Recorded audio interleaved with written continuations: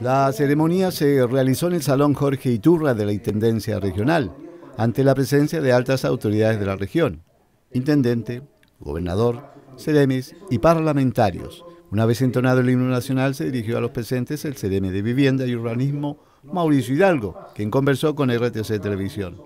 La entrega de estos subsidios tiene tremenda relevancia para nuestra región, pues se trata de la primera entrega de subsidios del año 2018 eh, para los sectores medios de la población. Estamos hablando de subsidios eh, que están encuadrados dentro de lo que el presidente Piñera anunció en su oportunidad en el programa Clase Media Protegida.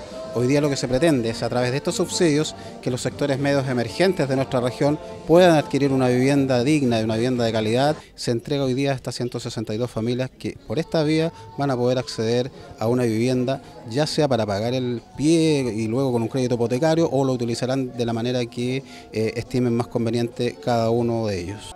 El monto del subsidio varía de acuerdo a la vivienda que se va a adquirir. Va relacionado con el monto del subsidio que abarca entre 40 a 80 unidades de fomento. Carolina Lizama, de la población La Tortuga de Altos Pisos, estaba feliz. Fue a recibir el subsidio con su hija más pequeña.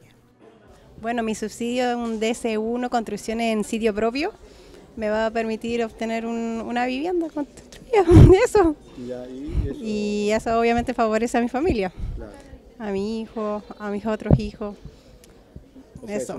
Luego se procedió a la entrega de los certificados de subsidios por parte de las autoridades presentes en la ceremonia. En este primer llamado fueron beneficiados 76 mujeres y 86 hombres. Las viviendas se financian con un ahorro mínimo, aporte del Estado y recursos propios o crédito hipotecario.